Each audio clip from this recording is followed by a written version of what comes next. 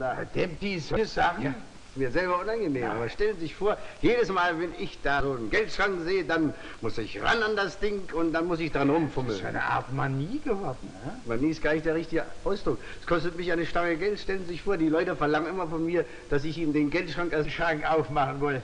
Wie Sie noch ein gewisser Herr Kran war. Und Sie ein gewisser Herr Tschernikow. Ja, ja. Unter uns ich bin schrecklich neugierig, ob der Film gut geworden ist. Na, hoffentlich doch. Na, wollen wir uns mal ansehen? Ja, gern. Auf, auf in die Vorführung.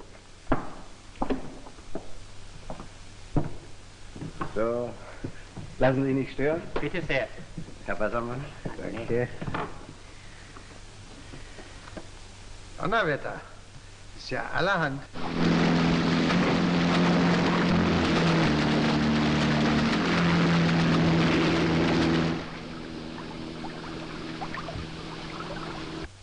Für ein komischer Herr?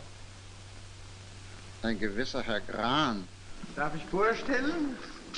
Herr Hauptmann Gordon, Fräulein Dolin, die beste Freundin meiner Frau. Ich bitte dich, Viola, du musst mir helfen.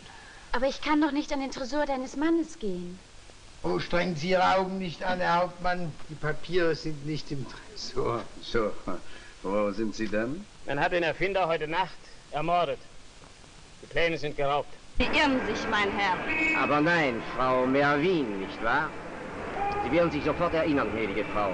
Der Überfall, die Dokumente. Achtung, Polizei!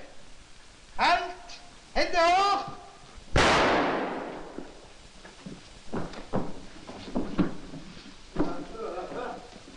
Wir sind also Feinde.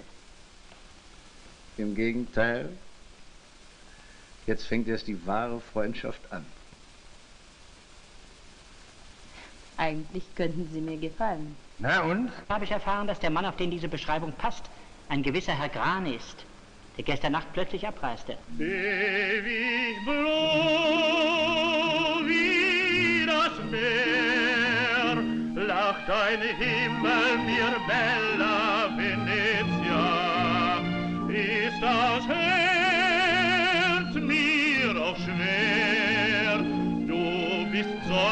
Sonnenschein, Bella